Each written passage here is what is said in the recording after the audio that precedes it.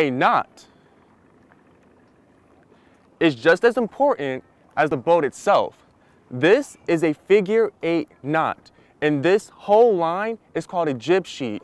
Consider the jib sheet as the gas pedal to a car, which controls this jib right here. Because without this line, or more specifically this knot, sailing would practically be impossible. Because if you don't do the right knot, it could really mess you up. It can make a good day into a bad day. These skippers have been learning the do's and nots of sailing for one full week. How are you liking it so far? Um, I'm loving it.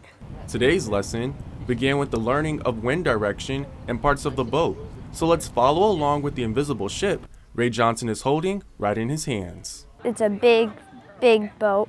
It has a sail, and there's a mast, mainsail, and if you're on a Pico, there's a jib sail.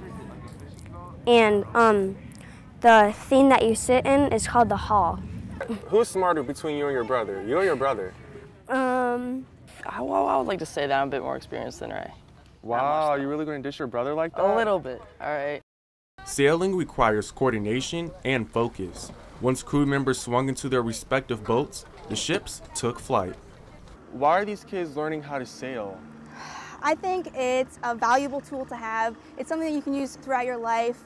Never mind the life jacket, I wind up not going inside the water, but one thing you can do tomorrow for the July 4th holiday is come right here to the Marine Sanctuary to learn more about our Great Lakes and possibly learn more about sailing like what the kids are doing right behind us. Reporting for WBKB News, Elijah Baker.